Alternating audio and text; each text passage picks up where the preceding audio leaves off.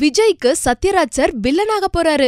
தமிழ் சினிமாவை பொறுத்த வரைக்கும் ஒவ்வொரு டைரக்டரும் தனக்குன்னு சில லக்கி சாம்ஸ் வச்சிருப்பாங்க.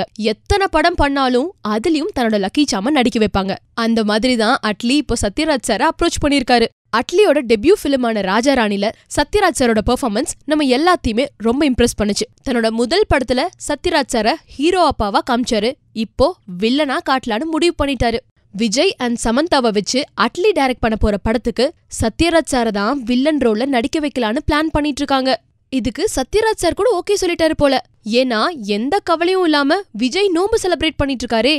ஒவ்வொரு வருஷம் ரம்ஜான் வரும்போது இப்தார் விருந்தும் வந்துரும். இந்த வருஷம் நம்ம தளபதி விஜய் இப்தார் விருந்து கொடுத்திருக்காரு.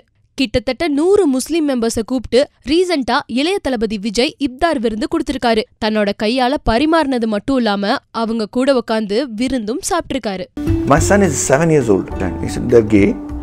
Oh, So I said, Oh, so you know what gay is? He said, Yes, Papa.